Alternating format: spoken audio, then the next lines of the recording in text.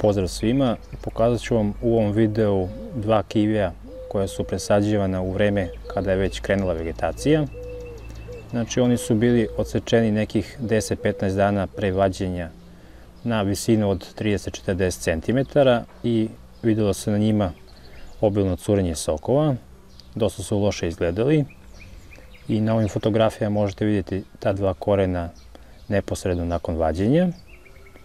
Zatim ja sam ih zasadio kod mene i pošto nisam znao kako će pretrpeti presađivanje, ja sam odlučio da sačekam pravi trenutak i da izvršim kaleminje i na ovim fotografijama možete da vidite neposredno nakon kaleminja kako je to izgledalo.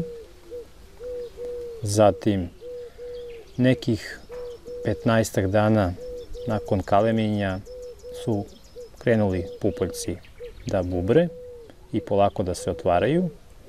Kalimio sam oba korena pod koru, znači kalimio je pod koru i čekao sam da malo se zaustavi curenje sokova i tada sam izvršio kalemenje.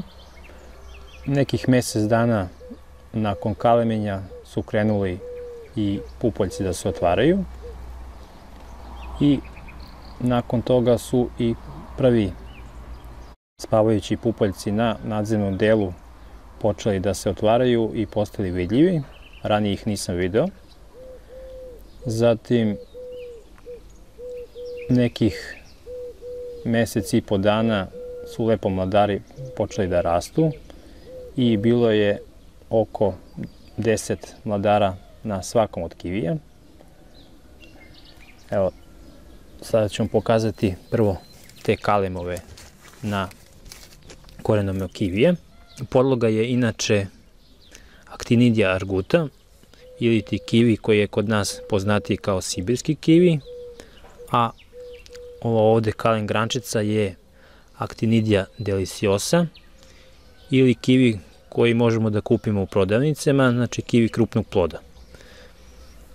Na ovo prvom korenu sam kalemio tri grančice i kao što možete vidjeti ova prva grančica ima baš lepo listove.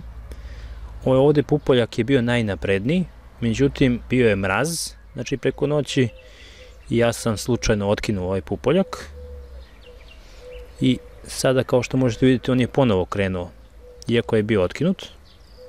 Zatim ovde imam još jedan kalem i ovde dole imam još jedan kalem. Na svim grančicama sam inače napisao flomasterom da li su muška ili ženska biljka.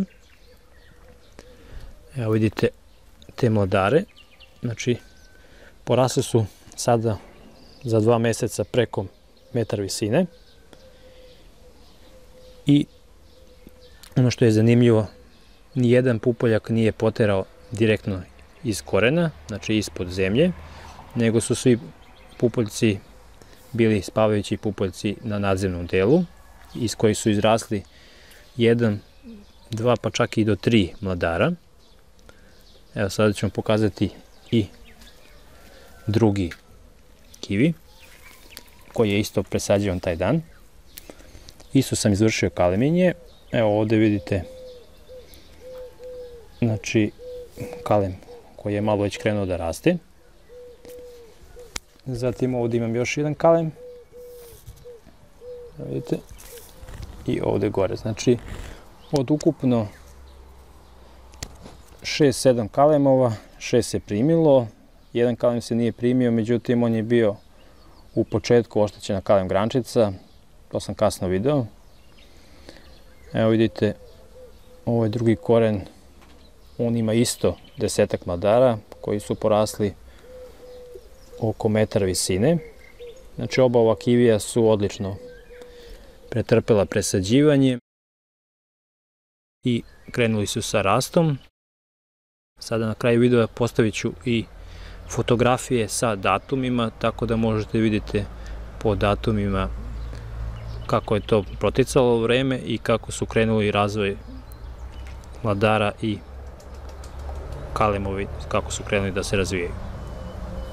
Pozdrav!